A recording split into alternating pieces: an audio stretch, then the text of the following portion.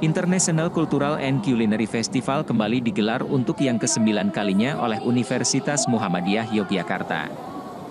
Agenda tahunan yang berlokasi di Gedung Sportorium UMY ini menjadi bagian dari rangkaian agenda Milad UMY yang ke-43, dengan menampilkan berbagai budaya dari masing-masing negara peserta, terutama dari segi kesenian dan kuliner.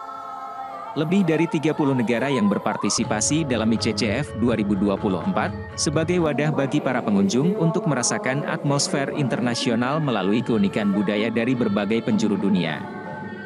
Rektor Universitas Muhammadiyah Yogyakarta Gunawan Budianto menyampaikan bahwa para pengunjung ICCF 2024 khususnya dari kalangan mahasiswa dapat meningkatkan interaksi dan keakraban antara mahasiswa Indonesia dengan mahasiswa internasional dari mancanegara, dan mahasiswa dapat merasakan atmosfer internasional di UMY.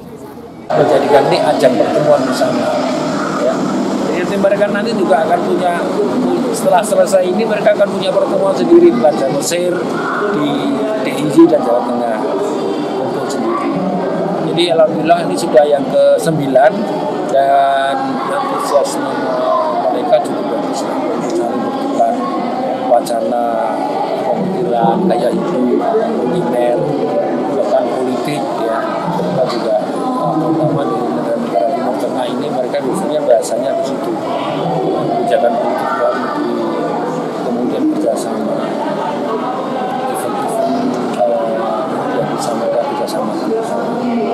jadi ini uh, bagi pelajar lokal ya, merupakan uh, atmosfer internasional yang, yang dinantikan Mahasiswa asal Mesir, Ahmad Saleh merasa senang dapat berpartisipasi pada acara ini untuk mengenalkan ragam budaya dan kuliner khas Mesir kepada masyarakat di Indonesia.